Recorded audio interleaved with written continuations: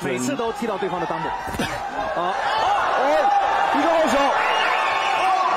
哦，电光火石之间，定性还是很强的呀。对，毕竟是老将。哦，这个前手平都直接开路就进去了，然后又是回法跟进，再次击倒王宇豪。太快了，这几下比赛就要结束了。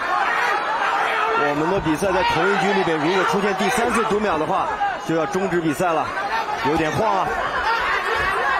哦，王宇豪要控制好距离，你看波球的移动速度多快。王宇豪这时候的防守啊要做好，哦，好上头。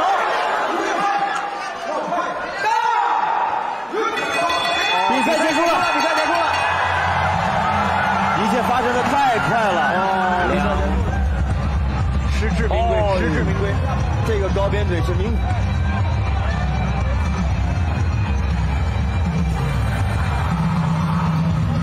太快了，这一切发生的太快了。波波球的拳法的准心度，包括他他整个节奏的把控，还是我们看什么叫准快狠，而且每一个动作多么的标准，就像教科书一般的准确。